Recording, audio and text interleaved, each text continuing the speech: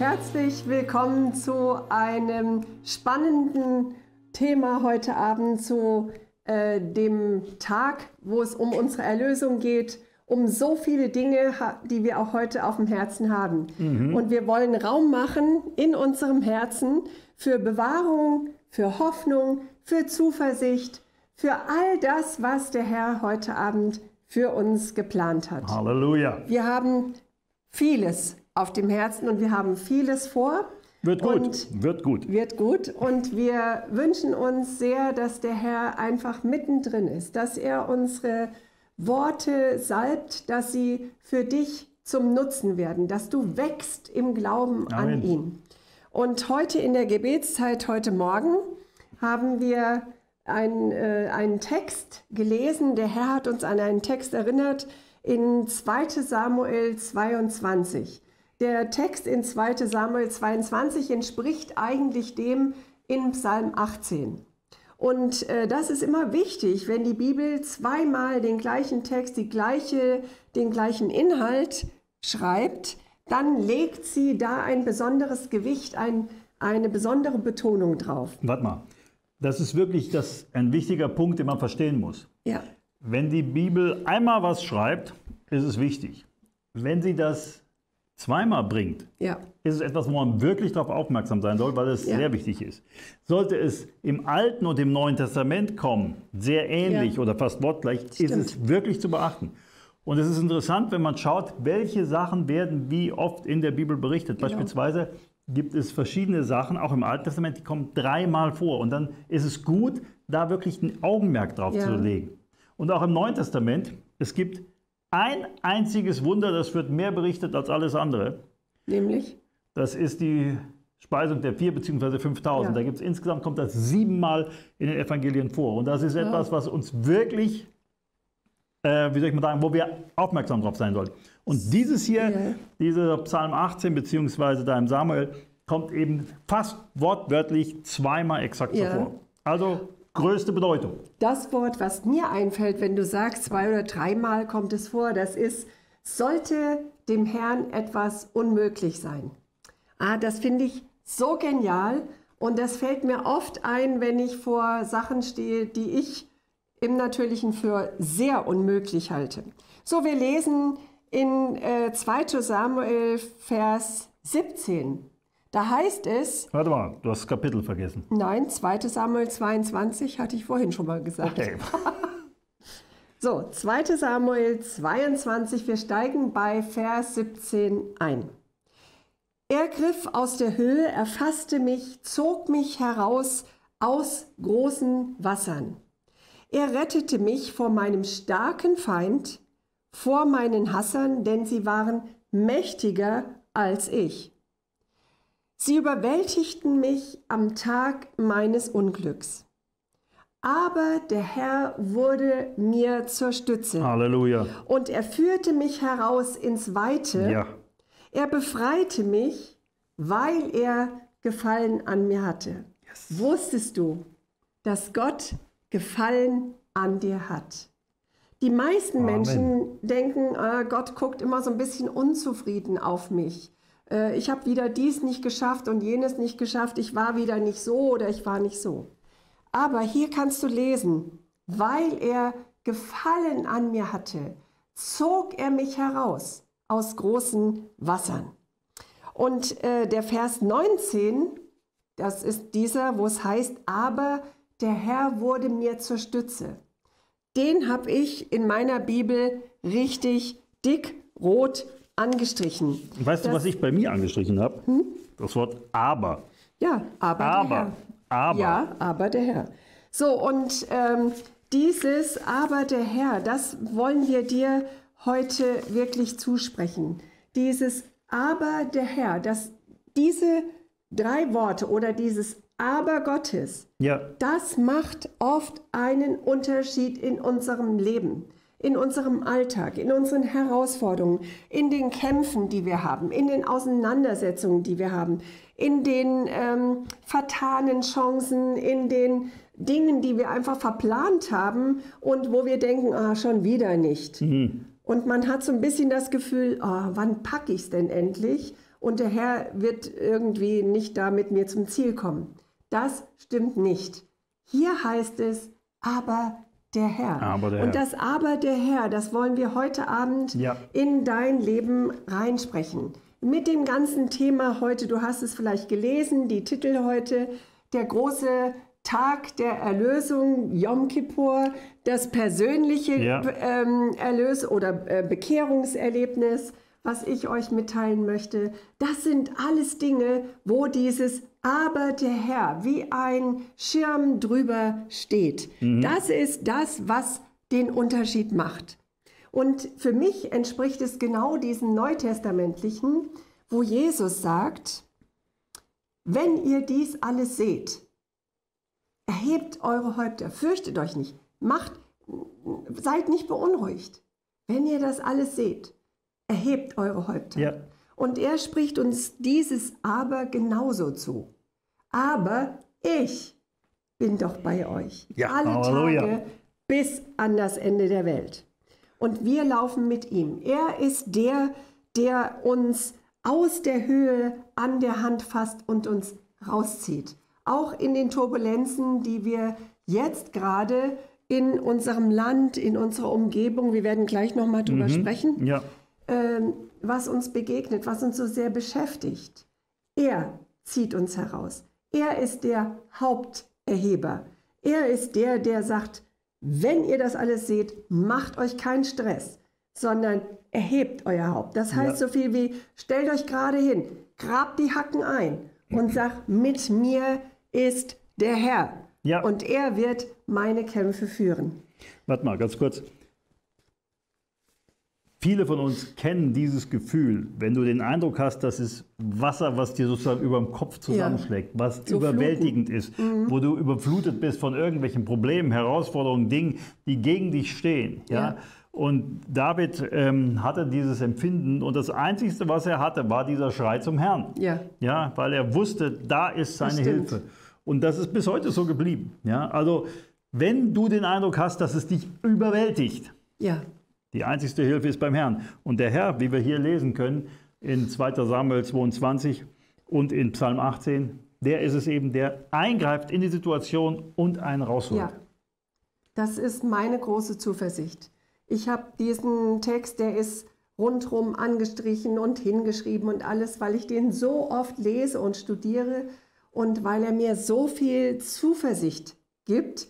Und wenn du jetzt heute äh, da sitzt und sagst, ich habe so wenig, ich bin so ermüdet, ich bin so matt, der Herr möchte das in dein Leben, in deine Situation reinsprechen. Er ist der, der die Dinge verändert. Amen. So, und wir wollen jetzt beten gemeinsam.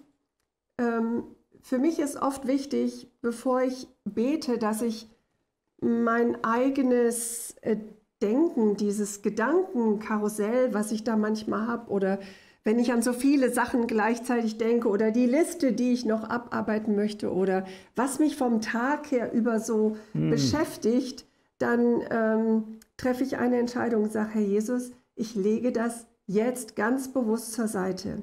Ich will mich jetzt auf dich fokussieren. Ja. Ich möchte mich auf dich äh, konzentrieren, indem ich höre, was Ja. du zu mir sagst, was du in meine Situation hineinsprichst. Amen. Und das wollen wir jetzt gemeinsam tun. Herr Jesus, wir danken dir. Wir danken dir einfach, dass du der Haupterheber bist. Wir danken dir, dass du der eine bist, der, der unsere Herzen gewonnen hat. Wir danken dir, dass unsere Blicke auf dich gerichtet sind. Wir danken dir, dass du uns Oh, herausgezogen hast aus. Schlick und Schlamm, aus Sünde und. Vergehen und aus Ungerechtigkeit. Du hast uns gewaschen mit deinem Blut, dass wir rein sind vor dir. Du bist alles für uns. Du bist das Licht, das. Licht für uns, das Licht für mich, das Licht für alle, die jetzt hier zusammen sind und du bist das Licht dieser Welt. Amen. Du bist das Lamm, das geschlachtet wurde. Du bist die Tür, die du geöffnet hast, wo das Blut am Holz war, damit ich in. Freiheit gehen Amen, yes. Du hast uns errettet aus der Finsternis Ja. und gerufen in dein wunderbares Licht. In dein Licht. Du hast Halleluja. uns freigesetzt Yes, yes. von der Sklaverei sind des frei. Feindes. Wir sind frei. Wir sind Rosha durch diese Tür gegangen. Und Herr Jesus, lass diesen Abend dazu dienen, dass wir verstehen, dass du die Tür bist. Ja. Dass du der bist, der an der Tür steht und anklopft und zu Hm. Amen. jedem, der dich einlässt, hineinkommst. Ja. und Gemeinschaft hast. Yes. Herr, wir danken dir für einen lebensverändernden Abend heute. Amen. Wir preisen und wir ehren dich. Du bist Ja. Gott und du bist groß und dir ist kein Ding unmöglich. Amen. Ja. ja, Herr, wir wollen dir unsere Liebe bringen und wir sagen, Yes. Wir erwarten einfach, dass du heute in, bei jedem Einzelnen bist, der sich jetzt hier einklingt, Ja. der dabei ist, der diesen Livestream sieht oder hinterher die Videos und wir preisen und ehren dich, Herr. Wir danken dir so sehr für dieses Vorrecht, auch wir im virtuellen Raum einfach zusammen sein zu können, um dich zu erheben, dich zu preisen, auf dich zu schauen, von dir zu hören, von dir zu lernen. Herr, wir ehren dich, wir geben dir allen Lobpreis, alle Ehre. Amen. Amen. Amen. So, Martin, du hast eine Menge auf dem Herzen. Ja, Fang an. Letzte Woche Samstag am 19.09. war, wie du wahrscheinlich gemerkt hast, keine Entrückung. Ähm, es gab einige Bibellehrer oder was, die haben damit geliebäugelt, dass es also an diesem besagten Tag Entrückung sein würde, aufgrund der Tatsache, dass an dem Tag Rosh Hashanah war, beziehungsweise Yom Teruah, das ist der ähm, Tag des Posaunenblasens. Ja. Ja, das ist das säkulare jüdische Neujahr. Und ähm, irgendwie von der heilsgeschichtlichen Bedeutung, die dieser Tag nun mal hat, ich werde gleich noch was dazu sagen, haben sie gedacht, okay, jetzt ist die Wiederkunft des Herrn, jetzt ist Entrückung. Es war nicht der Fall, ganz offensichtlich. Ähm, ja, Nichtsdestotrotz warten wir, dass Jesus wiederkommt. wir warten, dass der Herr wiederkommt. Yes. Aber wir, wir glauben, es wird noch einige Jahre dauern. Ja, wir haben gibt, noch einen Job zu tun. Es gibt noch einen Job zu Ja. tun. Amen. Es gibt noch einen richtigen, richtigen Yes. Job zu tun für uns Christen in Deutschland. Und da gibt es zahlreiche prophetische Worte, die genau darüber zu uns gesprochen haben, Ja. was zu tun ist. Und Und ich glaube, dass du, äh, wenn du in deiner Familie unerrettete Menschen hast, dass das genau dein Anliegen ist, dass sie errettet werden, dass sie rausgezogen werden und ihre Füße auf festen Grund kommen. ja, deine Verwandten, Ja. deine Arbeitskollegen, Genau. deine Kinder, deine Eltern, deine Geschwister, ja. Ja. denn, deine Nachbarn. Ja. Ja. ich, ich, es ist interessant, die Leute, die sich sehr intensiv mit Endzeit beschäftigen, sind häufig nicht alle, aber manche sind so gepolt, dass sie nur darauf fixiert sind zu gucken, was läuft alles Schlechtes in der Welt. Alles ist ganz furchtbar. Ähm, und wir sind eine kleine Gruppierung, eine kleine Herde, ja, die kommt in die Ewigkeit und die anderen gehen halt alle ja, in die Verdammnis. Ja. So, und das ist nicht das, was der Herr will. Manche Christen Ja. wenn du die Reden hörst, dann denkst du, die reden eins zu eins die Agenda des Feindes nach. Denn was will der Feind? Der Feind will, Yes, das dass stimmt. möglichst wenig Leute Ja. gerettet werden, dass die Christen nicht aktiv sind, Mhm. nicht evangelisieren, dass sie sich nur mit dem Thema Endzeit und dem Schlimmen, was kommt, beschäftigen, anstatt dass sie das Evangelium in einer Art und Weise weitergeben, dass wirklich Menschen gerettet werden und sich danach ausstrecken, dass der Heilige Geist ausgegossen wird, dass Zeichen und Wunder geschehen, dass Menschen gerettet werden. Amen. Ja? Yes. Und ähm, das ist etwas, was wir echt auf dem Herzen haben. Ja? Keiner weiß, wann der Herr wiederkommt. Und jeder, der bis jetzt berechnet hat, jeder lag daneben. Auch übrigens Luther hat zwei, dreimal während seiner Lebenszeit äh, die Wiederkunft des Herrn schon vorausgesagt. Ne? Ja. Und also hunderte von, von geistlichen Leitern über die Jahrhunderte und alle waren daneben. Und bis heute waren sie natürlich alle daneben. Ja. Es kommt der Tag. Also ich bin echt froh, dass wir noch nicht da sind. ja, es ist, noch, Wirklich. es ist noch Wir- und wir haben unseren Job zu tun. Ehrlich. Es muss noch der Himmel bevölkert werden und die Hölle geplündert werden. Ja. Das ist das, was Reinhard Bonke immer gesagt hat. Und Amen. ich will daran einen Anteil haben. Ja. Ja, das ist auch die Frucht, die wir für die Ewigkeit haben. Amen. Das, was wir dem Herrn bringen können, dass wir Menschen gerettet Genau. haben. Ja, also Und nicht äh, zu vergessen, die Zeit, in der wir jetzt leben, die ist wirklich, wir sind wirklich in eine neue Dekade gekommen. Wir Allerdings. haben es schon mal gesagt. Wir haben das Bild, was Jesus gebraucht hat, mit den Wehen aufgenommen. Und wir haben ja gesagt, es gab diese erste Wehe, wo es heißt, jetzt geht's los. Aber wenn äh, ihr jemals mit Wehen oder mit äh, Frauen, die entbunden haben, gesprochen habt, dann wisst ihr, äh, die Eröffnungswehe ist nicht die einzige, äh, sondern danach folgen mehrere andere Wehen. Und es wird schneller gehen mit den Wehen. Je mehr die, ähm, das Kind zur Geburt kommt, desto schneller äh, geht das mit den Wehen. Und wir desto rechnen, kürzer sind die Abstände. Desto kürzer mhm. sind die Ruhepausen dazwischen. Ich habe das letzte Mal gesagt, ich empfinde im Moment wie eine kleine Ruhepause, aber ich spüre schon wieder, dass es äh, die Vorbereitungen gibt, dass es wieder zu neuen Anzieht, ja. ähm, Bewegungen, wollen wir mal sagen, oder Wehentätigkeit kommt. Und äh, wir sollten alle wirklich, ähm, wie soll ich sagen, den Fokus nicht verlieren. Wir sollten bereit sein, wir sollten uns vorbereiten. Ja. Wir sollen nicht einfach äh, den Kopf in den Sand stecken oder sagen, ja, glaube ich den offiziellen Medien oder glaube ich den alternativen Medien oder ich weiß gar nicht. Alle machen Angst. Also wenn du Angst hast oder Angst empfindest bei irgendwelchen Meldungen, musst du mehr beten und dem Herrn vertrauen und gerade darüber nachdenken, dass er unser Haupterheber ist, dass ist er ja der, der Ermutiger ist. Das ist genau das mit den Prophetien, weil ja. wir gesagt haben, das eine sagt, ist das offizielle Statement. Das andere sind irgendwelche alternativen Sachen. Ja. Und das ist ja alles vielleicht richtig und vielleicht auch nicht. Was wir brauchen ist, ja. was sagt Gott? Genau, wir müssen Was sagt Gott sein. in dem ganzen ja, Ding? Stimmt. Ja, und deshalb ist es A, ja. wichtig, dass man die Bibel liest. Ne? Mhm. Und B, diese prophetischen Worte, die wir ja auch da in dieser Broschüre Gott und das deutschsprachige Europa rausgegeben haben als Beispiel, ein kleiner Ausschnitt ist das ja nur, um zu sehen, ey, was entwickelt sich, was sagt Gott, was kommt. Ja. Und das ist eben anders, sowohl als das, was die offiziellen Medien sagen, und auch anders als viele, viele von den äh, äh alternativen Sachen sind. Es ist einfach geistliche äh, Sichtweise. Das ist eine ganz andere Dimension. Kom komplett anders. Und, ähm, aber jetzt erklär doch mal, wieso kommst du denn darauf, dass das die erste Wehe war? Ja, weil äh, der Lockdown war schon im März etwas, was uns alle ja extrem bewegt hat. Also niemand hätte vor sieben, siebeneinhalb Monaten für möglich gehalten, dass äh, die ganze Welt mit Mundschutz versehen überall rumläuft. Hättest du das jemandem gesagt, er hätte wahrscheinlich gedacht, du wärst ähm, verrückt. Ähm, ich habe jetzt mal drüber nachgedacht, ähm, ist vielleicht ein bisschen lustig, aber vielleicht auch nicht. Äh, wie wäre es, wenn jetzt zum Beispiel eine Meldung käme, ähm, im Herbst gibt es Läuse und wir müssen uns alle schützen, denn die übertragen Krankheiten. Läuse. Wir müssen uns alle die Haare abschneiden und wir laufen jetzt alle nur noch mit Hauben rum. Ha, Denkst ja, du allen Ernstes, wir würden so einen Blödsinn machen? Nein, kein Mensch glaubt dir das. Kein Mensch würde das glauben. Aber warte mal, mit den Läusen, das ist interessant. Die übertragen sich ja durch Nähe. Richtig. Wir würden Distanz halten. Also muss man müssen. Distanz halten. Ja. Und, äh, das und durch in den Haaren sitzen die. Also muss man. Äh, mich juckt schon. also, müssen, also müssen die Haare ab. Ja. Also Glatze wird angesagt.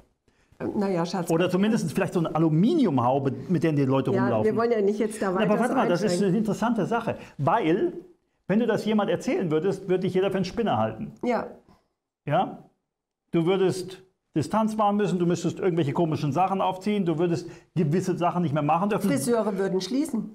Äh, äh, Leute, die jetzt ja. ähm, sowas hätten, also Läuse, ja, würden natürlich wahrscheinlich geächtet werden, äh, irgendwie abgetrennt mit irgendwelchen Vernichtungsmitteln, also ja. für die Läuse äh, eingedampft. Und, ähm, Aber es würde eine Impfung geben.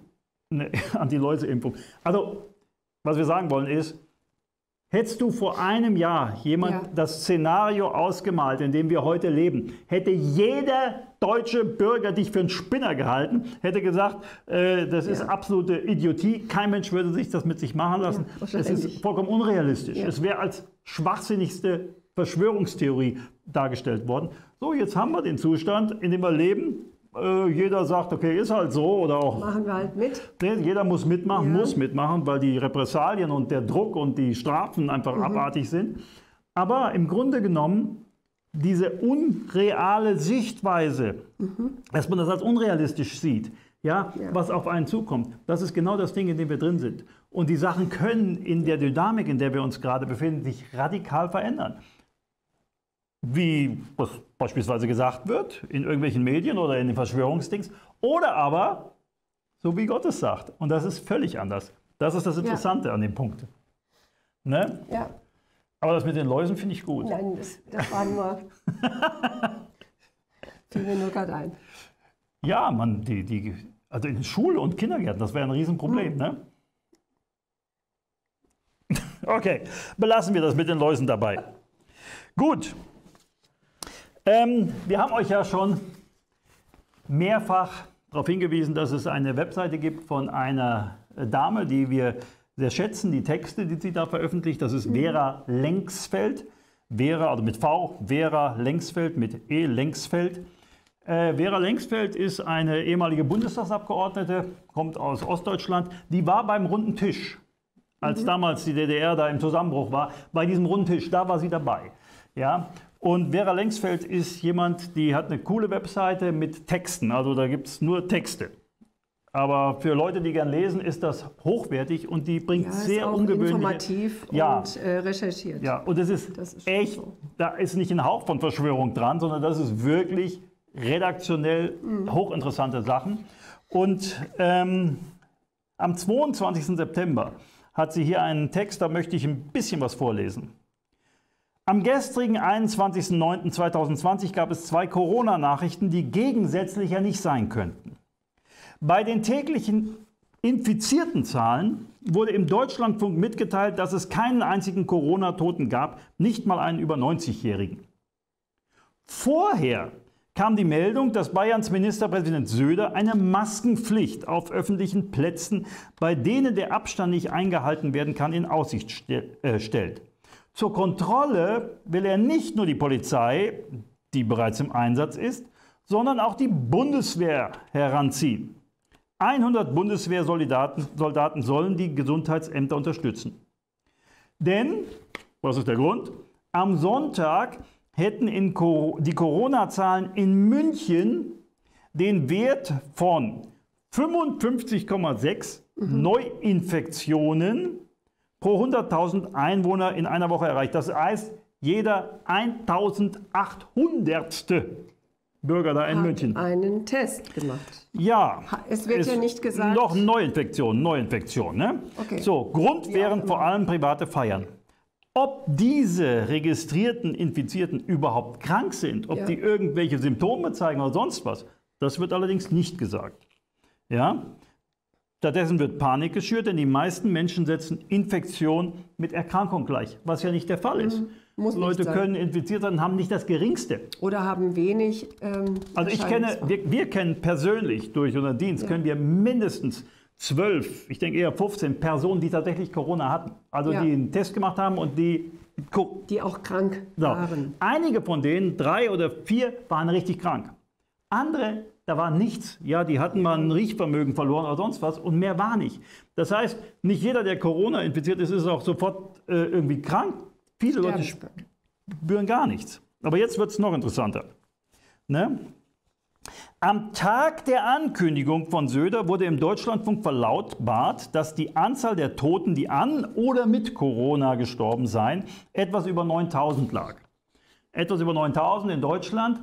Ähm, diese Zahl ist hochgepusht, weil jeder, der Corona mal hatte, irgendwann positiv getestet worden ist, ist ein Corona-Toter. Ich meine, wenn der in, äh, äh, im März von mir aus einen Corona-Test hatte, nicht das geringste war, und dann irgendwie jetzt durch einen Unfall, äh, durch, einen Unfall, durch irgend, irgendwas einfach zu Tode kommt, der ist ein Corona-Toter. Obwohl nicht das geringste das eigentlich mit der Krankheit hat. Wenn der vom Auto überfahren wird, ist es ein Corona-Toter. Das muss man sich mal vorstellen. So ist die offizielle Zählweise. Ne? So, das sind also 9000. So, das ist erheblich weniger als die übliche Sterberate durch Infektionen mit Krankenhauskeimen. Mhm. Das ist eine ganz geringe Zahl. Ja, wir hatten im, in der letzten Saison hatten wir über 22.000 Grippetote. So, wenn du jetzt die Corona-Toten und die paar Grippetoten, die sie gezählt haben, zusammennimmst, bist du deutlich unter 10.000. Ist also mhm. halbiert der Satz. Das ist echt interessant. Zahlen vom RKI. Ne? So, tatsächlich schreibt sie hier weiter, haben wir in den Pandemiemonaten keine Über- sondern eine Untersterblichkeit. Es sterben viel weniger Leute als normal. Äh, naja, nun denke ich. Das ist die Wahrheit. Ein Grund wird vielleicht sein, dass viele Leute ja auch nicht ins Krankenhaus gegangen sind oder nicht gehen konnten. Es kam zu viel weniger Operationen. Und viele Leute sind schon aus Angst nicht ins Krankenhaus mhm. gegangen. So, das fällt mir ein, wenn ich höre äh, Krankenhauskeime. Ja. Heißt also, in diesem Jahr sind ja. weniger Leute gestorben als sonst. Ja? Übrigens, die durchschnittliche Lebenserwartung in Deutschland liegt, glaube ich, bei 81, noch was Jahren, 6 oder so. Die durchschnittliche äh, äh, Sterbealter von den Corona-Toten liegt bei über 82 Jahren. Also das sind alles Sachen, die muss man sich mal bewusst machen. Ne? So, aber trotzdem, trotz all dem, wurden die oder werden die oder wurden die Corona-Maßnahmen verschärft. Und dann schreibt sie, nun auch noch die Bundeswehr. Die Bundeswehr wird rangeholt. Und dann schreibt sie, was ich vermisse, ist ein Aufschrei der Linken, die sich bisher immer gegen einen theoretischen Einsatz der Bundeswehr im Inneren positioniert hatten. Nun, da ein solcher Einsatz angekündigt wird, herrscht dröhnendes Schweigen. Ja, es ist nicht der Auftrag der Bundeswehr, die Bevölkerung zu drangsalieren oder zu kontrollieren. Das ist einfach etwas, was neu ist. Nein, das ja. war, in der Form gab es das bis jetzt noch nicht in unserer schönen Republik. Genau. Ja. Aber das ist natürlich wirklich im natürlichen Jetzt. Ja, das ist, äh, ist so. Was uns halt begegnet, ist sehr viel, ähm, dass die Leute uns anschreiben. Also es gibt auch Leute, die schreiben uns wirkliche Hassmails. Also das muss man ja auch sagen. Ja, also, da, wir reden nicht von. Da, da reden wir nicht von. Aber es ist nicht so, dass wir nur Fanpost kriegen. Also es gibt ja. wirklich auch Dresche, ja? ja. Mails und Briefe und so weiter. Ähm, teilweise mit Androhungen von irgendwelchen fürchterlichen Sachen. Ähm, gut, aber was uns, was, wir auf, äh, was uns auffällt, ist einfach, dass ähm, die meisten Christen, die uns anschreiben, sagen, was ich nicht verstehe, ist, dass die Leute schweigen, mhm. dass die einfach nichts sagen, dass in den Gemeinden das Thema wird totgeschwiegen. Das ist etwas, was sozusagen irgendwie ausgeblendet ist und so. Und da habe ich einen interessanten Text gefunden auf der Webseite von den Christen im Widerstand. Christen im Widerstand und die ich dir vor, möchte ich dir vorlesen. Aber vorher möchte ich dir noch ein Zitat von Martin Niemöller geben. Vielleicht kennst du den Namen. Niemöller, das war ein ähm, lutherischer Pfarrer, ne? gestorben 1984. Und äh, der war eigentlich so ein Widerstandsmensch im mhm. Dritten Reich hat sich offen gegen Adolf Hitler ausgesprochen, hat die letzten sieben Jahre der nationalsozialistischen Herrschaft, dann ab 38 denke ich mal, im Konzentrationslagern mhm. verbracht. Wobei das Interessante bei dem Martin Niemöller war, eigentlich, und da hat er nie einen Hehl draus gemacht, später, der hat das offen, öffentlich bekannt, also sehr authentisch, eigentlich war er überzeugter Antisemit. Und mhm. am Anfang war er Hitler-Fan. Es gab sogar mal eine Situation, dass er mit ein paar Bischöfen oder so eine Audienz bei Hitler persönlich hatte.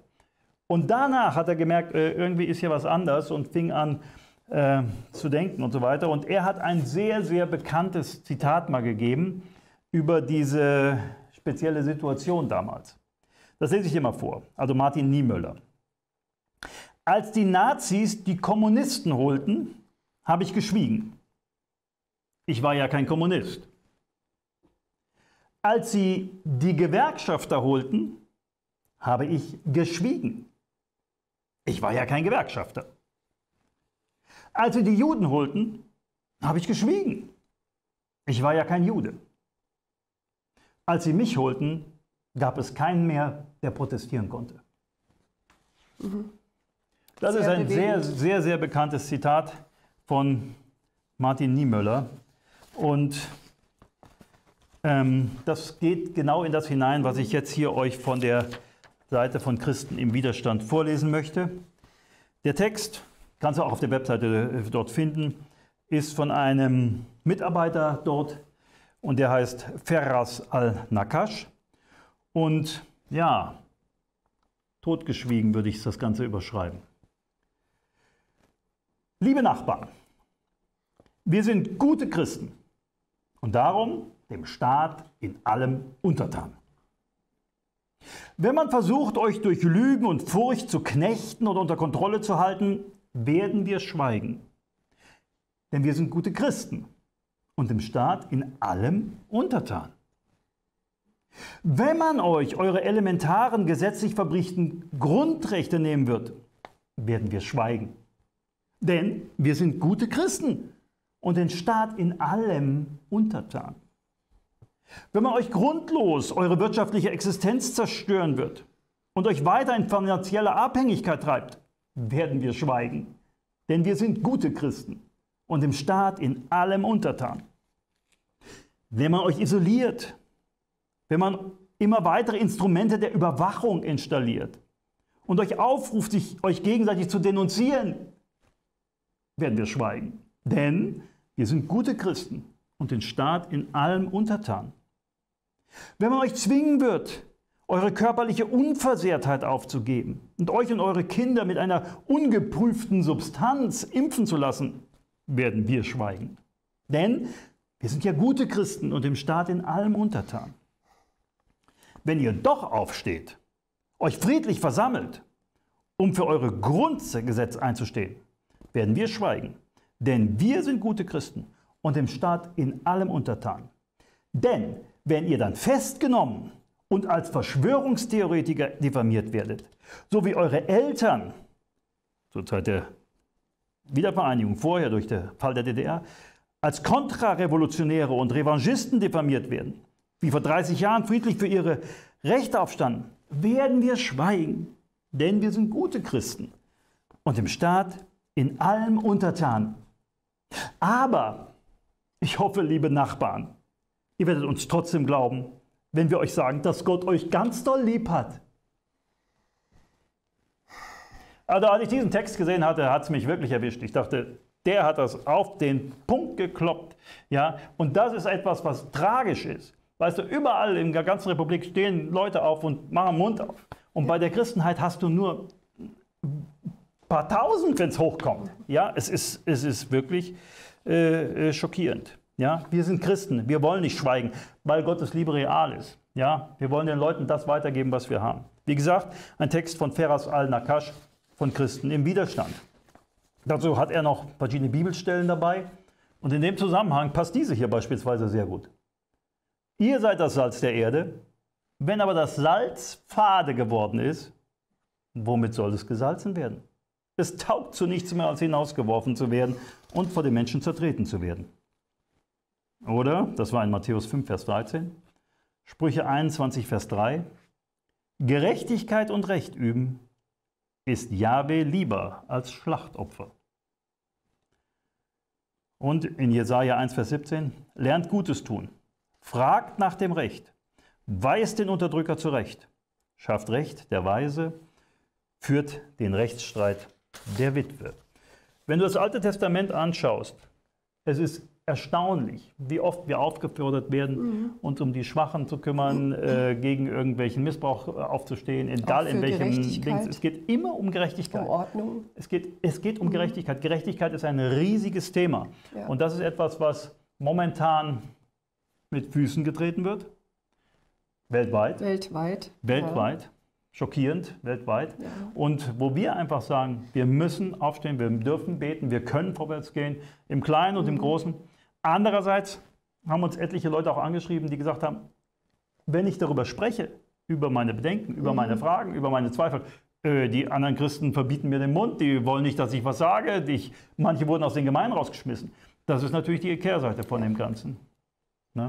Also ähm, es ist schwierig. Wir sind tatsächlich in eine schwierige Zeit reingekommen. Ja. Ich habe es vorhin gesagt. Ähm, das, was wir wahrnehmen, ist, dass der Feind alles versuchen wird und will, äh, diese Zertrennung und diesen Schaden in Familien, in Freundschaften, in Beziehungen reinzustreuen. Er ist der Zertrenner. Ja. Und er wird diese ganze Sache benutzen, weltweit, dass es in sozialen Beziehungen zu Zertrennungen kommt. Ähm, nun äh, wollen wir jetzt nicht hier den großen Revolutsaufstand machen, aber wir wollen sagen, äh, wir müssen beten, ähm, damit es überhaupt möglich wird, die Ernte einzubringen. Ja. Denn er ist durch diese Zertrennung dabei, die Ernte zu rauben.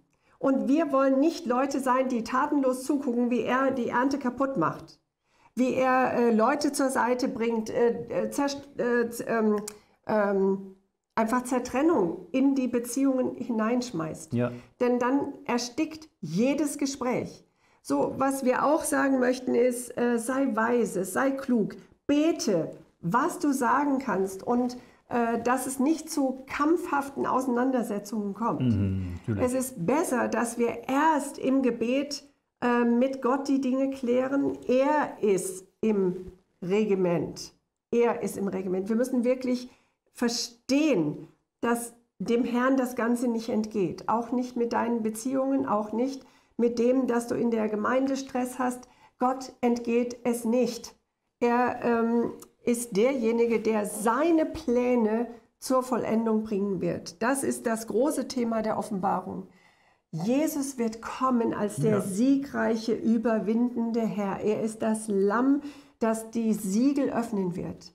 Und das, ähm, das ist das, was wir im Gebet nach vorne bringen, was wir, wo wir beteiligt sind. Verstehst du? Nicht nur die Leute, die auf die Straße gehen und demonstrieren, bei allem Respekt, den ich äh, ihnen zolle, oder wir. Äh, wir sind wirklich ähm, total ähm, am Beten, wenn wir wissen, Leute Schutz, ähm, stehen auf für unsere Rechte. Ähm, so, sondern äh, wir sind auch die, die sagen, wir müssen im Gebet auf diese Höhe kommen. Ja. Wir haben darüber gesprochen, dass Mose, Hur und Aaron auf die Höhe gestiegen sind und unten tobte der Kampf gegen Amalek. Josua brauchte dieses Gebet auf dem ja. Berg. Er brauchte diesen, diese Fürbitte, diesen Fürsprecher. Wenn du eine Rechtssache gerade laufen hast, Du brauchst Leute an deiner Seite, die im Gebet stehen und die deine äh, Kämpfe im Gebet unterstützen und begleiten und nach vorne bringen. Ja. Ja. Zum Thema Offenbarung möchte ich noch mal hier was sagen. Da haben wir jetzt, also wenn, wenn schon, ja, Thema Offenbarung. Das ist ja für sehr viele Menschen tatsächlich im wahrsten Sinne des Wortes ein Buch mit sieben Siegeln. Wir haben hier dieses Buch bei uns im Shop. Begleiten Sie mich durch die Offenbarung. Das ist nach unserem persönlichen Dafürhalten das Beste, das was wir kennen. Wir haben da schon wirklich schon sehr viele äh, verkauft, weil wir überzeugt sind, das ist ein super gutes Buch. Das Buch ist richtig günstig, aufgrund, dass es ein Nachdruck ist. Es sind fast 270 Seiten, kostet nur 9 Euro. Mhm. Ähm, und es ist ein super Buch mit diesem komplexen Thema Offenbarung. Und das ist das Buch, was momentan ja. dran ist, die, Buch, die Offenbarung. Unbedingt. Aber wenn du die Offenbarung liest, wird es ja. dir wahrscheinlich diverse Fragen offen haben. Äh, und hier, das ist etwas, wo es nach unserem Dafürhalten super gut erklärt wird. Auch nicht so mit Spekulationen und irgendwelchen komischen Sachen, sondern wirklich gut. Also, wenn du es noch nicht hast, empfehlen wir dir das wirklich bei uns im Shop ja. zu bestellen. Begleiten Sie mich durch die Offenbarung. Gerade zu dem Thema ja. Sehr, sehr hilfreich. Denn viele, viele Christen, wie wir vorhin gesagt haben, sind nur im Negativen. Die wohnen in diesem Dunkeln und Negativen und beschäftigen sich damit. Ja. Und das ist nicht die ganze Wahrheit. Das Nein, ist nicht die eigentliche Story. Gut, so, gleich ähm, werde ich noch mal was sagen zu diesem Thema mit dem Rosh Hashanah bzw. Yom Tua. Und dann, mein Thema ist Yom Kippur. Ja, der große Versöhnungstag. Der große Versöhnungstag. Das, das ist cool. Thema. Aber ich fange mal an. Du machst die Vorbereitung dafür, damit wir das mit der Versöhnung gut kapieren. Ja. Ich mache mal die Vorbereitung davon. Genau. Als äh, Martin gesagt hat, er wird über Yom Kippur sprechen, da dachte ich, ey, das ist total gut, das ist total richtig und den Tag Yom Kippur müsste eigentlich jeder von uns erleben. Und zwar nicht in dem alttestamentlichen Bild, was ihr nachher gleich hören werdet, sondern der große Versöhnungstag. Das ist das, dieser eine Tag, der in deinem und meinem Leben gewesen ist. Und das ist jetzt so ein bisschen mein Thema, der große Tag der Versöhnung und der Tag der mein Leben veränderte. Und ich hoffe und mein Gebet war heute, dass viele dabei sind, die sagen können, ich weiß diesen einen bestimmten Tag, der der große Versöhnungstag für mich mit Gott, mit Jesus gewesen ist. Ich weiß, es gibt Menschen, die sagen, oh, ich kann mich nicht so richtig an das Datum erinnern, wo ich mich bekehrt habe, aber ähm, ich habe eine Entwicklung mit Jesus ähm, gehabt. Ich kann wirklich sagen, ich weiß, dass mein Erlöser lebt. So, viele Menschen äh, gehen ja jetzt auch so in dieser Zeit ähm, zum Evangelisieren. In vielen Gesprächen wird immer wieder gesagt, lasst euch versöhnen mit Gott. Das ist der große Tenor von Evangelisation. Lasst euch versöhnen mit Gott. Aber dieses lasst euch versöhnen mit Gott ist mehr als, ähm, ja, ich weiß, ich weiß, dass Gott gibt und ich glaube ja auch an Gott und ich will äh, so Frieden mit ihm haben. Ich bin auch Mitglied in der Kirche oder ich weiß das alles, aber so, wenn er mir nichts tut, dann tue ich ihm auch nichts. Und da ist Versöhnung immer so ein bisschen von, äh, ich halte Frieden ich mm, lehne mich nicht aus dem Fenster, aber ich habe den Status quo. Ja, ich war in der Gemeinde, mittlerweile bin ich raus aus der Gemeinde, äh, aber äh, ich lasse das einfach mal so stehen. Lasst euch versöhnen mit Gott ist viel, viel, viel mehr, ist viel tiefer als einfach nur, ich halte mal Frieden. Lasst euch versöhnen mit Gott, das ist das große Erlösungswerk was Jesus am Kreuz vollbracht hat. Die gute Nachricht. Es ist das, das ist eine Botschaft der Rettung und der Gnade für uns gibt. Als ich im Teenageralter war, da wurde diese Botschaft, lasst euch versöhnen mit Gott, die wurde richtig oft und kernig und gut gepredigt. Und ich fand das auch richtig. Also ich war dabei, wenn Einsätze gemacht wurden, wenn äh, so Aktionen in jedes Haus gemacht wurde, wenn ähm, wirklich diese ganzen Dinge der Gemeinde gemacht wurden, dann war ich hellauf begeistert. Und das war etwas, was mir auch gut gefallen hat. Ich bin in einer gläubigen Familie groß geworden und die Ausrichtung im Wort Gottes und das Predigen und in der Gemeinde zu sein, wirklich so in den Ordnungen Gottes unterwegs zu sein, das war für mich ganz selbstverständlich. Ich bin da drin aufgewachsen. Ich sang im Chor mit. Ich war immer da, wenn irgendwas in der Gemeinde los war. Und ich hatte so den Eindruck, ich mache alles richtig. Das dachte ich jedenfalls. Die Gemeinde war evangelistisch und deswegen gab es jedes Jahr eine Evangelisation und da wurden die Leute im Umkreis eingeladen, es wurde gepredigt, es war das eine Mal dann an dieser Evangelisation so, dass ein Team von einer Bibelschule gekommen war und mir gefiel das. Das waren junge Leute und die waren so voller Feuer und ich habe gedacht, ja, die haben was, das ist anders, als ich das so kenne und so ein bisschen habe ich äh, nach ihnen geguckt und dachte, hm, das würde ich auch gerne so glauben und haben. Bei einer solchen Abendveranstaltung, da war ein Bibeltext spielerisch so in so einem Laienspiel dargestellt worden aus Daniel 5. Ähm, ich will den Text jetzt gar nicht lesen, ich äh, äh, erzähle euch gleich den Inhalt.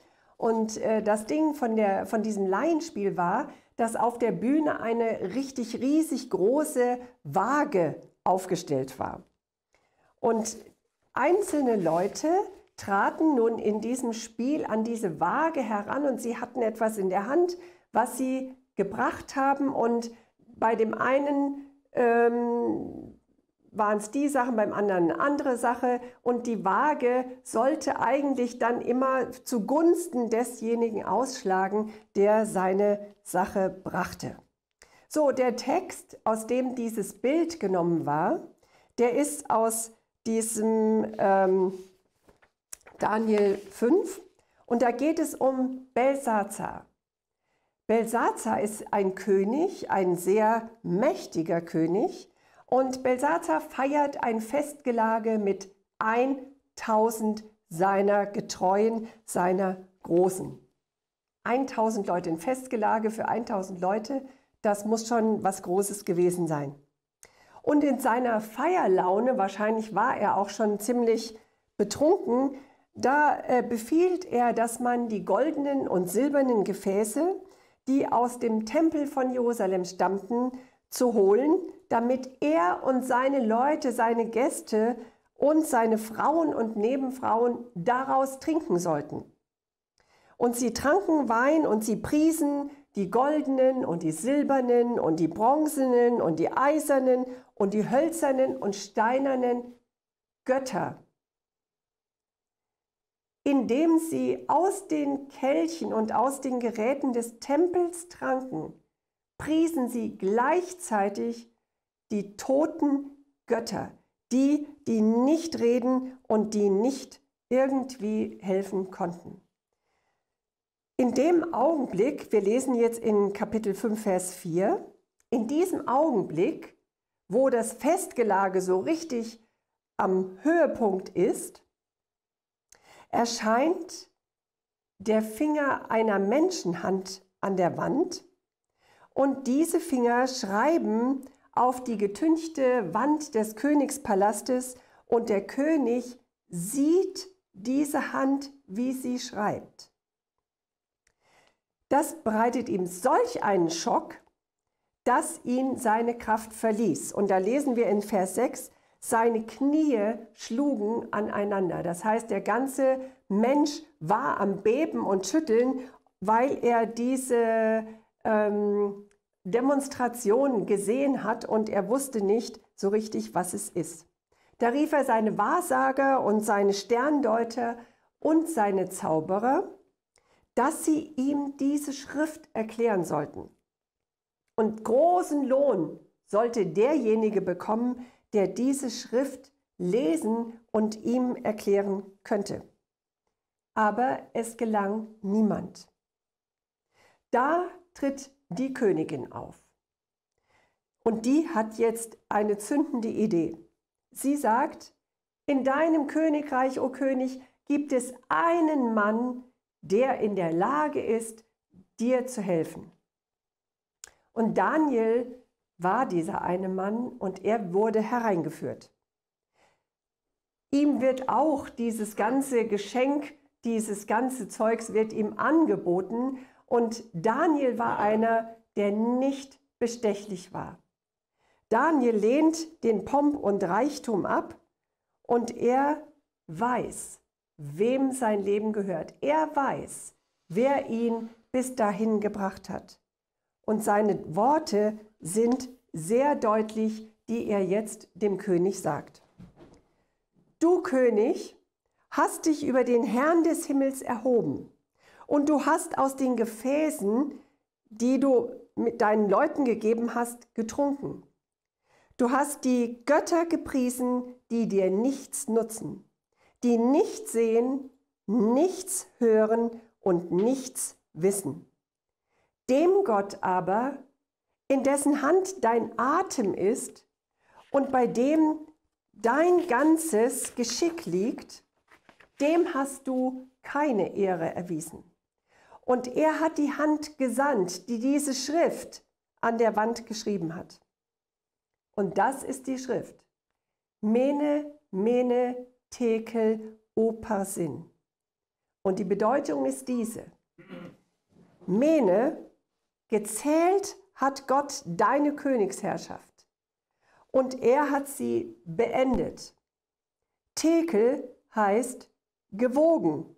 Du bist gewogen worden auf der Waage und für zu leicht bist du befunden worden. Die Schrift schrieb Mene, Mene, Tekel. Es hat eine doppelte Bedeutung, dass hier geschrieben wird Mene, Mene. Das heißt gezählt und geprüft. Gewogen worden bist du auf der Waage und für zu leicht bist du befunden worden heißt, Du bist mangelhaft bei Gott empfunden worden. Du bist fehlerhaft empfunden worden. Du bist von geringer Qualität. Es reicht nicht für Gottes Maßstäbe, wie du bist. Und du kannst nicht im entferntesten da dran kommen. Du vertraust auf deine Götter, die nichts sehen, nichts reden können, die dir nicht helfen können. Und in Gottes Augen bist du mangelhaft befunden worden. Es reicht nicht, wie du bist. Der Inhalt dieses Textes, der wurde in diesem Laienspiel an diesem Abend der Evangelisation den Menschen gezeigt und vorgespielt. Eine Waage als Gericht Gottes und wo die Menschen kamen, um zu bringen, was sie dachten, dass das Gutes ist aus ihrem Leben, dass es Wert hat, dass sie doch ganz toll sind und jetzt Gott endlich mal sagen können, wie klasse sie doch eigentlich ihr Leben gestaltet haben. Sie wollten Gott etwas vorweisen von dem, was sie dachten, das doch ganz okay ist. Zum Beispiel kam ein Mann mit einem großen Koffer und der hatte Mengen an Spendengeldern da drin und der hat gesagt, ich bringe mächtige Spenden, weil ich habe so viele Werke unterstützt, die Gutes getan haben. Jemand kam mit Zetteln von Mitgliedschaften, die ähm, von großen wohltätigen Vereinen waren. Und er sagte, ich habe immer den Armen geholfen und Geld gespendet und gegeben. Ich habe immer im Barmherzigkeitsdienst mitgearbeitet. Jemand kam mit der Mitgliedschaft in einer Gemeinde und sie sagte, ich unterstütze die Gemeinde, ich putze jede Woche, ich singe im Chor und mit mir ist eigentlich jeder zufrieden. Ich helfe, wo es nur geht und ich bin angesehen und beliebt bei allen Leuten. Jeder von diesen Personen, der kam und seine Sachen brachte, stand vor der Waage und die Waage schlug nicht zu ihren Gunsten aus, sondern es hieß immer Mene, Mene, Tekel. Gewogen, gewogen und für zu leicht befunden.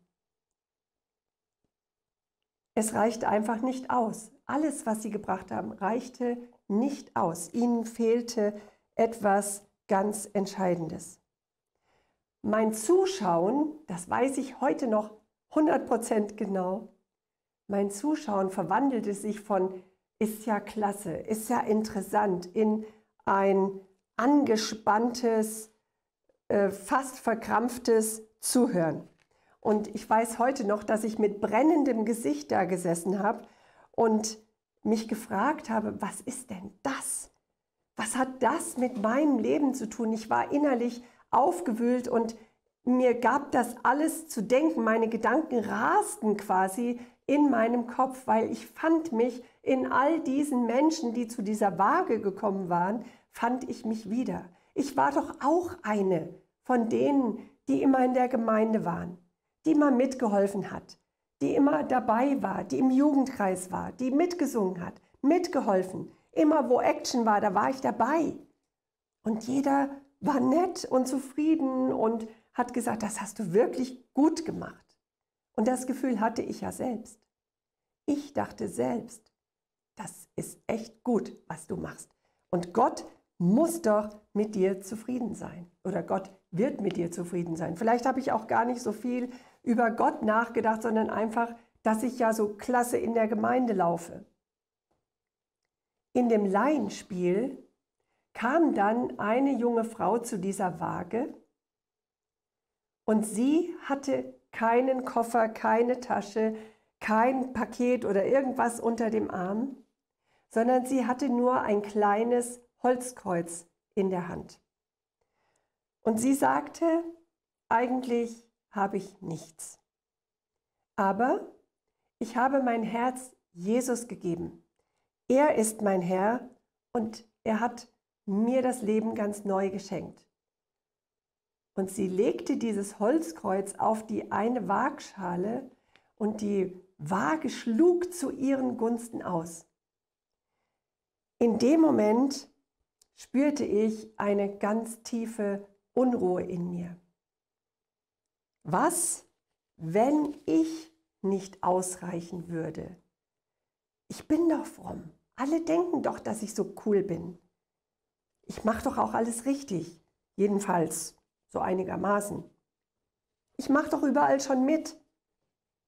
Gott sollte eigentlich zufrieden sein, aber reichte das? Ich wusste, dass mir etwas fehlte. Und das war dieses kleine Holzkreuz. Nicht das Kreuz aus Holz, sondern das Bekenntnis. Jesus ist mein Herr. Mein Leben gehört ihm. Ich habe ihm mein Leben gegeben.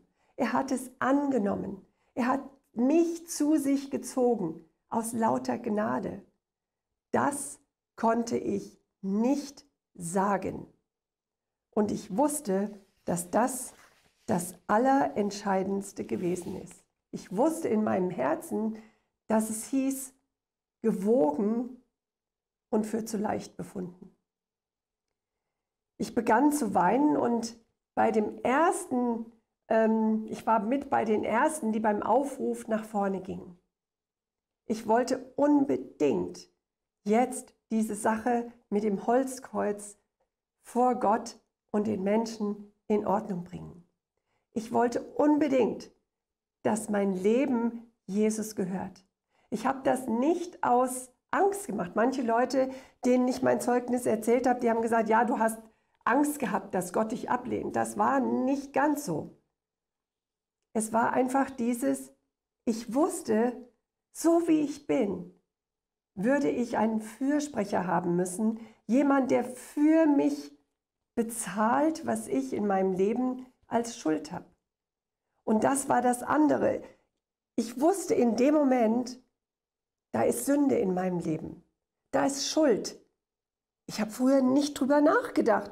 Ich dachte, ja, das macht man halt mal so. Man klaut halt mal Geld aus dem Portemonnaie von der Mama oder man lügt sich halt mal so ein bisschen korrekt oder naja, wenn man nicht die ganze Wahrheit sagt, ist es ja auch schon so gut wie und mh, hm, so, ich hatte darüber keine Erkenntnis.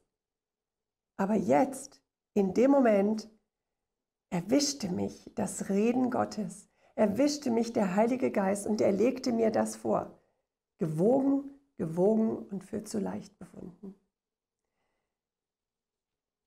Ich bekannte dann vor einer Person, die mit mir betete, diese ganze Schuld. Ich, ich wusste in dem Moment, das war wie ein Film und ich, ich habe mich gesehen, wie ich an das Schrankfach ging, wo das Portemonnaie von meiner Mutter war. Und ich sah mich, wie ich einfach so 50 Pfennig daraus genommen habe. Und das war für damalige Verhältnisse schon ganz schön happig. Ich bekannte diese Schuld vor der unsichtbaren und der sichtbaren Welt. Diese Person hörte mir zu und sie sprach mir im Namen Jesus diese Vergebung zu. Mit der Buße kam das Wissen, dass Gott mir vergeben hat. Mir wurde vergeben und ich konnte dieses kostbare Geschenk von Jesus annehmen. Ich wusste, die Waage, sie würde jetzt auch für mich zu meinen Gunsten ausschlagen, weil ich einen Retter gefunden hatte. Ich hatte dieses Holzkreuz in der Hand und ich wusste, dass diese Gnade ein Geschenk war. Später habe ich noch mit meiner Mutter darüber gesprochen. Weißt du, ich war, ich war so voller, voller Glück, voller Fröhlichkeit, voller Freude, als ich diesen Schritt getan habe. Ich, ich konnte mich kaum halten. Ich bin nach Hause gekommen und habe meiner Mutter sofort gesagt, Mama, mein Leben gehört jetzt Jesus. Und ich bitte dich, dass du mir vergibst, wo ich so viele Dinge gemacht habe, die nicht gut waren. Und sie hat sich mit mir gefreut und auch die anderen. Ich musste dann noch zu einer Nachbarin gehen und verschiedene Sachen bekennen und ich musste Dinge in Ordnung bringen. Das war nicht so leicht. Das war schon ein bisschen unangenehm und peinlich, würde ich sagen. Aber ich wusste, ich muss das tun, damit die, diese, ähm, dieses Versklavtsein vom Feind, dieses Ziehen in Schuld und Sünde, dass das weggenommen ist, auch in der sichtbaren Welt bei Menschen. Vielleicht sind heute Leute hier, die das hören oder die das ganz neu hören sollten. Vielleicht gibt es auch Menschen, die schon lange im Glauben stehen und die sagen, na ja, so dieses erste Brennen, das irgendwie dieses Feuer, das ist bei mir weg. Dieses Feuer der Begeisterung, dieses Feuer der Kraft, dieses Feuer Jesus, du bist da, du bist alles für mich. Alles, mein ganzes Leben richtet sich auf dich aus. Vielleicht brauchst du eine neue Salbung, ein neues, eine neue Hingabe an Jesus. Neu ihm dein Leben anvertrauen. In der Offenbarung, da steht ein Text, der mich auch immer wirklich bewegt. Da ist das aus dem Brief an die Gemeinde in Ephesus. Eure Liebe ist nicht mehr so, wie sie am Anfang war. Alles richtig gemacht. Aber das Wichtigste, diese brennende Bereitschaft für den Herrn verloren. Da heißt es, erkenne doch, wie weit du dich von deiner ersten Liebe entfernt hast. Kehre wieder zu mir zurück und bemühe dich so, wie du es am Anfang getan hast. Dieses Brennen, diese Sehnsucht, dieses Erwarten, dass Gott mein ganzes Herz erfüllt, dass Jesus in meinem Herzen ist, dass der Heilige Geist in mir mehr Raum gewinnt. Das ist das, worum es geht. Mit dieser Lebensübergabe an Jesus kam auch diese tiefe Gewissheit, dass ich für Zeit und Ewigkeit gerettet bin. Für Zeit und Ewigkeit bin ich sein Kind, seine Tochter geworden, seine Nachfolgerin, sein Eigentum. Manchmal kommen Leute und sie sagen, ja, also nach meiner Bekehrung, da gab es immer so viele Tiefen und so ein Versagen und alles diese Dinge und ich weiß gar nicht, ob ich wirklich gerettet bin. Ich möchte dir das jetzt zusprechen. Wenn du weißt, ich habe mein Leben Jesus gegeben, dann gehörst du zu denen, die in seinem Reich einen Platz haben. Dann gehörst du zu denen, wo er sagt, du bist reingewaschen durch mein Blut. Du bist gesetzt zur Rechten der Kraft Gottes. Du gehörst mir für Zeit und Ewigkeit. Du wirst nicht verloren gehen. Als ich auf dem Weg mit dem Herrn war, gab es einige von diesen Entscheidungen. Natürlich, ich war jung, ich war ein junger Mensch, ich wollte vieles auch sehen und haben und erleben und ich musste diesen Weg gehen. Versteht ihr? Ähm, einmal gerettet heißt, ich muss einen Weg mit Jesus gehen. Ich muss das immer wieder vertiefen. Ich muss diesen Glauben leben. Ich musste mir einen Lebensstil des Glaubens, des Betens, des Lesens im Wort Gottes, diese Zeit mit Jesus, ich musste das unbedingt trainieren und lernen. Das ist nicht etwas, was uns einfach so zufällt, sondern das ist der Punkt, an dem der Feind sofort kommt und sagt, guck mal, das hast du nicht gemacht, du hast ja so wenig Glauben und du bist ja gar nicht so und du willst das ja auch gar nicht alles so erfüllen und guck mal, wie toll das andere ist und ja, du musst den Glauben ein bisschen auf die Seite räumen. Es war ein Weg, den ich mit dem Herrn zurücklegen musste. Und später, sehr, sehr, sehr lange später, hat der Herr diesen Weg nochmal verändert. Und er hat mir gezeigt, dass der Heilige Geist eine Kraft zum Leben ist, eine Kraft zum Zeugnis, eine Kraft, die mir hilft, Jesus zu erkennen, Gott den Vater zu erkennen, ihn zu lieben, ihn über alles zu setzen, zu sagen, Jesus, Es geht alles nur um dich. Der Heilige Geist, den ich gefunden habe, der mich wirklich getauft hat, noch einmal zubereitet hat, dass ich ihn hören konnte, dass ich einfach mein Leben, mein ganzes Christsein vertiefen konnte, der mich geleitet hat, der mich geführt hat in alle Wahrheit, der mich getröstet hat. Alle diese Dinge, die habe ich erst sehr viel später erlebt und entdeckt.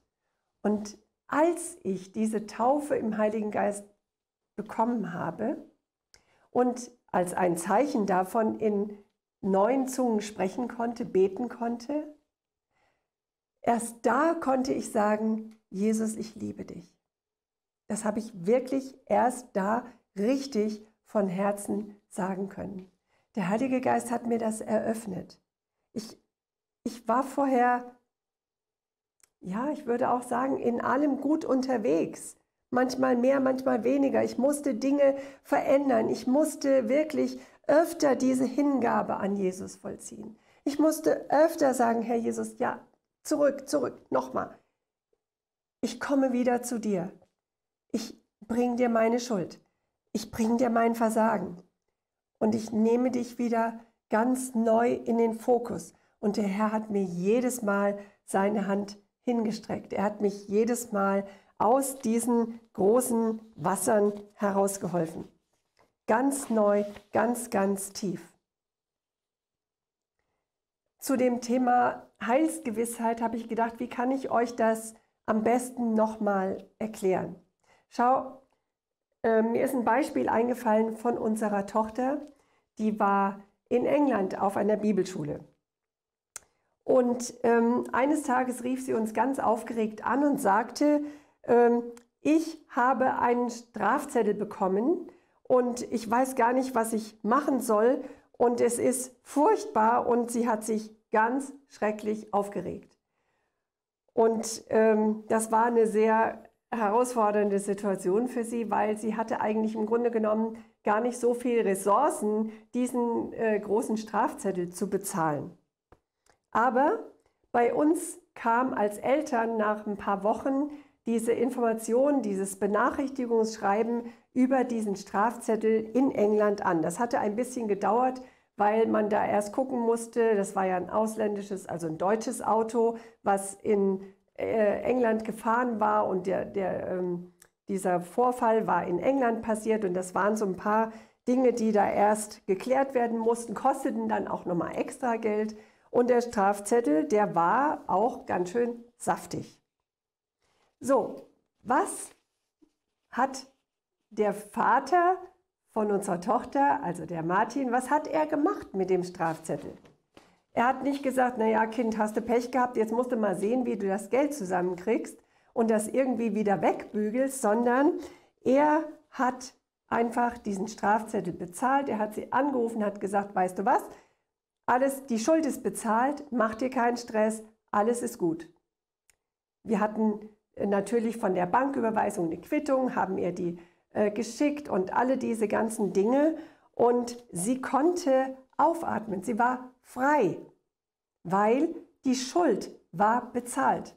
Und es wäre doch sehr dumm gewesen, wenn sie gesagt hätte, das glaube ich aber nicht.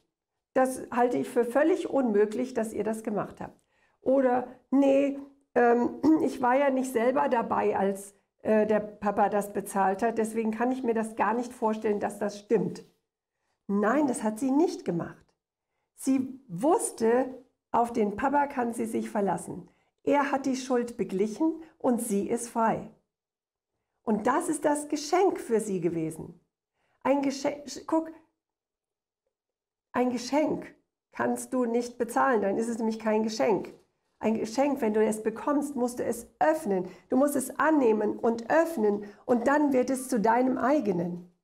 Und genau das hat der Vater im Himmel durch seinen Sohn Jesus Christus für dich gemacht. Er hat am Kreuz deine Schuld bezahlt. Das ist das, wenn wir sagen, der Schuldschein ist zerrissen.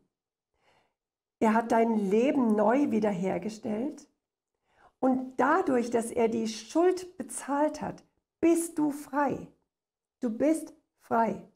Und wenn du jetzt hingehst und sagst, ja, das glaube ich aber nicht, dass er das gemacht hat. Und eigentlich, und wer weiß denn, und ob, und dies und das. Verstehst du? Das, wenn du diese ähm, Sache anzweifelst, dann hat sich das Werk am Kreuz nicht mit deinem Glauben verbunden, sondern dann hast du es vielleicht als eine, etwas gelesen, was in der Bibel steht.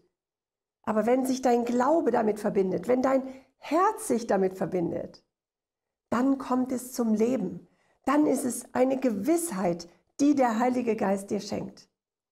Und wenn dann immer noch der Feind kommt und sagt, nee, und das ist nicht so, und der, er schwätzt dir das weg, dann musst du aufstehen und dem Feind gebieten, dass dieses Reden aufhört.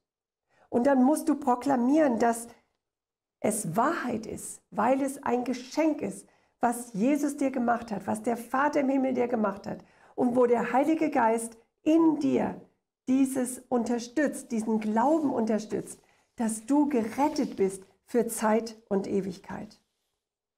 In 1. Johannes 5, Vers 9 steht, dies habe ich euch geschrieben, damit ihr wisst, dass ihr ewiges Leben habt, die ihr glaubt an den Namen des Sohnes Gottes. Wer sich dem Sohn Gottes anvertraut hat, der darf wissen, dass er ewiges Leben besitzt. Und in 1. Johannes 1, Vers 7 steht, nun, das Blut Jesu Christi des Lammes Gottes ist vergossen worden und Gott versichert jedem, der an das Blut des Sohnes Gottes glaubt, dass er vor dem Gericht bewahrt bleiben wird, denn es reinigt uns von jeder Sünde. Der Heilige Geist wurde in mir eine Kraftquelle, die mir dieses Zeugnis der Heilsgewissheit in Christus gegeben hat. Es gab in meinem Leben auch Zeiten, wo ich dachte, naja, hm, ist das denn so? Aber das war meistens dann, wenn ich mich selber ein Stück weit weg von Gott entfernt habe. Und wenn ich wieder mich ihm genaht habe, wenn die Dinge wieder zwischen ihm und mir in Ordnung gekommen waren, dann konnte ich wieder diese starke Gewissheit des Heiligen Geistes in mir empfinden. Ich möchte eigentlich dir sagen, dass du ganz neu dem Herrn dein Leben anvertraust, dass du ganz neu den Heiligen Geist bittest, dass er in deinem Leben wirksam wird, dass er stärker Raum in dir gewinnt, dass er der ist, der dich in alle Wahrheit leitet, dass du unterscheiden kannst, ob das eine Stimme des Feindes ist, der dir die Dinge wegschwätzen will, der dir deinen Glauben rauben will, der das Vertrauen in Gott unterlaufen will, oder ob du sagst, ich weiß, dass mein Erlöser lebt. Ich weiß, ich bin vor Gott gerecht gesprochen. Gott hat die Welt geliebt, dass er seinen Sohn gab, auf dass alle, die an ihn glauben, nicht verloren sind, sondern das ewige Leben haben. Wir wollen jetzt beten für die, die im Moment vielleicht mit Heilsgewissheit am Struggeln sind, dass sie wieder sich Gott nahen, dass sie Jesus ganz neu ergreifen und dass der Heilige Geist in ihnen ein starkes Zeugnis schafft. Amen. Amen. Vater im Himmel, wir danken dir für das Werk am Kreuz, das du gegeben hast yes. durch deinen Sohn Jesus Christus. Amen. Wir danken dir, dass wir, die wir an dich glauben, uns darauf berufen können, yes. dass wir dieses Geschenk annehmen. Ich danke dir, dass jeder, der zu dir kommt, nicht verloren wird, ja. sondern gerettet wird und zur Erkenntnis der Wahrheit kommt. Amen. Ja. Ich bete für jeden, der ganz neu, ein neues Feuer, eine neue Hingabe, eine neue Salbung in seinem Leben braucht. Ich bete, Heiliger Geist, dass du jetzt yes. kommst. Ja. Jetzt kommst, jetzt kommst, jetzt kommst und dass du dieses Feuer neu in Brand setzt. Yes. dass du jetzt kommst und ganz neu salbst mit dem Öl des Heiligen Geistes. Ja. Für eine Gewissheit im Glauben. Ich bin gerettet für Zeit und Ewigkeit. Amen. Nichts kann mich aus der Hand Ja. des Vaters weisen. Yes. Was, wer, wie sollte mich trennen von der Liebe Gottes, Amen. die ja. in Christus Jesus ist? Ich spreche dir das zu im Vertrauen auf den Herrn, dass er dich neu füllen wird, dass er dir neu Kraft geben Ja. wird, dass er deinen Glauben stärken wird, Ja. deine Zuversicht in ihn und dass der Heilige Geist als ein Unterpfand in deinem Leben ist und dass er stark ist in dir, dass er mächtig ist in dir Ja. und dass du Freude und Sieg in ihm empfinden und erleben wirst. In Jesu Namen. In Jesu Namen. Amen. Amen. Yes. Ich empfinde, dass wir durchaus auch noch einen Aufruf machen sollten. Ja, Für Menschen, die vielleicht den Herrn noch nie angenommen haben oder und diese Sendung sehen. Genau. ja, die das sehen, oder aber aus irgendwelchen christlichen Kreisen kommen, wo sie im Grunde genommen was ganz ähnliches wie, wie du empfunden haben. Einfach irgendwie immer dabei, immer mitgelaufen, aber so den richtigen Schritt einfach nie gemacht. Oder eigentlich auch in der Tradition gelaufen. Ja. Ich, wir kennen Leute auch, die in der Gemeinde waren, immer mitgemacht haben und irgendwann ist, äh, ist es zu Schwierigkeiten gekommen und sie sind rausgegangen aus der Gemeinde und mit, mit dem ist dieses Gerüst, Ja. diese Tradition weggefallen Zusammengebrochen. und sie haben quasi nichts mehr. Ja. Genau, und da haben wir hier diese Broschüre, der Spaziergang, die habe ich schon mehrfach vorgestellt. Das ist von unserem Dienst aus ein richtiges kleines Büchlein zum Thema Ja. Errettung und Bekehrung. Ist Genau. eine Geschichte, Fantasy kann man nicht sagen, so eine poetische Geschichte. Und dann äh, geht es eben darum, wie, wie, Wie ist es, wenn man, wenn man Christ werden will und so weiter. Und die ersten Fragen dazu und eben auch Übergabegebet. Mhm. Dann gibt es weiter hinten noch, wenn man einen Neuanfang mit Jesus machen Ja. will. Auch das ist genauso wichtig. Ja, gerade in der Zeit jetzt, ihr Lieben. Oh, es ist, also ich wollte euch nicht nur mein Zeugnis erzählen wegen dem Erzählen, sondern Ja, die Zeit, in der wir leben, die ist so schwierig, so anstrengend und so herausfordernd. Und wir gehen in Zeiten, wo es heißt, in dem prophetischen Wort auch, dass es zu einer Sinnkrise bei Menschen kommt. Eine Sinnkrise ist das, wenn man nicht weiß, wohin man gehört und dass es einen Gott im Himmel, einen Vater im Himmel gibt, einen Jesus, der für mich gestorben ist und einen Heiligen Geist, der mir in diesem meinem Leben helfen will. ja. Amen. Wenn das für dich ist, möchte ich jetzt einfach dieses Gebet, wie es hier steht, vorlesen. Ja? Okay. Und nimm es einfach. Und wenn es nur einer ist, der hier zuschaut, Ja. ja, nimm es einfach für dich an. Jesus Christus, ich wende mich dir zu. Ich akzeptiere hiermit, dass ich ein Sünder bin, der keinerlei Möglichkeit hat, in irgendeiner Weise gerecht vor Gott zu stehen oder zu ihm gelangen zu können. Ich erkenne, dass ich von Gott getrennt bin. Du, Jesus Christus, hast den Weg frei gemacht, damit ich zu Gott kommen kann. Ja. Ich akzeptiere das jetzt für mich. Ich akzeptiere, dass du, Jesus, für mich lebst, gestorben bist, auferstanden bist. Yes, Amen. Ich akzeptiere deinen Opfertod für mich, den du stellvertretend am Kreuz erlitten hast. Ich nehme das für mich persönlich jetzt, willentlich, in Anspruch. Herr, ich tue Buße für alle Dinge, die ich falsch gemacht habe, wissentlich oder unwissentlich. Ich bitte dich, dass du mich in einen Prozess der Reinigung, der Heiligung und deines Segens hineinführst. Yes. Ich möchte anders leben, als ich bisher lebte. Ja. Ich möchte so leben, dass es dir wohlgefällig ist. Bitte zeige mir alle Dinge, die in meinem Leben nicht in Ordnung sind und hilf mir, sie zu bereinigen und völlig frei von allem zu werden, was deinen Absichten für mein Leben widerspricht. Ich nehme all das an, was du für mich getan hast. Ich akzeptiere dich als meinen alleinigen Herrn, Retter und Erlöser. Amen. Du Yes. hast dein Leben für mich gegeben. Das empfange ich als Geschenk der Erlösung von dir. Ich gebe dir mein Leben. Es gehört dir. Im Namen Jesus erkläre ich vor der sichtbaren und der unsichtbaren Welt, Ich bin jetzt ein yes. Kind Gottes. Ich bin erlöst. Ich habe siegreiches Leben hier auf der Erde und nach meinem Tod ewiges Leben in der Gegenwart Gottes im Himmel. Amen.